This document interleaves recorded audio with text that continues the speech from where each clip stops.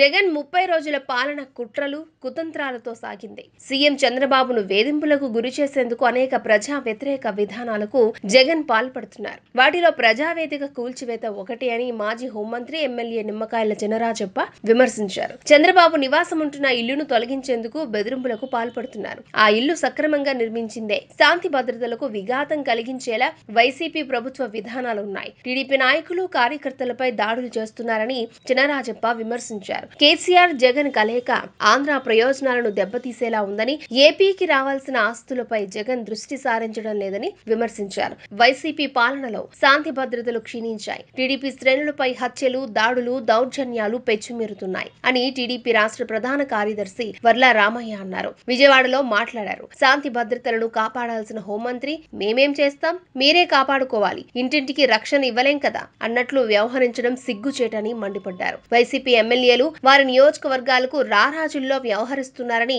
దుయ్యబట్టారు. ఓ విలేకరిని నెల్లూరు రూరల్ ఎమ్మెల్యే కోటంరెడ్డి శ్రీధర్ రెడ్డి దుర్భాషలాడిన ఆడియోను ఈ సందర్భంగా మీడియాకు వినిపించారు. ఇంకా నయం తాజ్ మహల్ యూపీ ఆగ్రాలోని యమునా తీరాన ఉండబట్టి సరిపోయింది. అదే మన రాష్ట్రంలో కృష్ణా నదీ తీరాన ఉండుంటే అంటూ TDP MP Kesineni Nani Twitter Facebook వేదికగా వ్యాఖ్యానించారు. ఈ ట్వీట్లకు కూల్చివేసిన ప్రజావేదిక ఫోటోలను ఆయన జత చేశారు సీఎం జగన్ను తనదైన శైలిలో ప్రశ్నించారు. గౌరవ ముఖ్యమంత్రి జగన్ రెడ్డి గారు. నదీ పరిరక్షణ చట్టం అనుసరించి రాష్ట్రంలో కృష్ణా గోదావరి నదీ తీరాల్లో ఉన్న అన్ని అక్రమ కట్టాలను కూల్చివేస్తారా? లేక కేవలం అరవై డెబ్బై కట్టడాలకే పరిమితమవుతారా? అని ఎంపీ ప్రశ్నించారు. రాష్ట్రంలో శాంతి భద్రతలు రైతుల సమస్యలు పట్టించుకోకుండా చంద్రబాబు ఎజెండాగా జగన్ పనిచేస్తున్నారని మాజీ మంత్రి సుజయ కృష్ణారంగారావు ఆరోపించారు. చంద్రబాబుపై జగన్ కక్షపూరిత వైఖరి అవలంబిస్తున్నారు. ప్రజా వేదికను కూల్చడం జగన్ పైశాచికత్వానికి నిదర్శనం. కృష్ణా గోదావరి నదుల వెంట అనేక ప్రైవేటు కట్టడాలతో పాటు ప్రభుత్వ భవనాలు ఉన్నాయి. అన్నింటినీ కూల్చాలంటే కనీసం రెండు వేల కోట్లు కావాలి.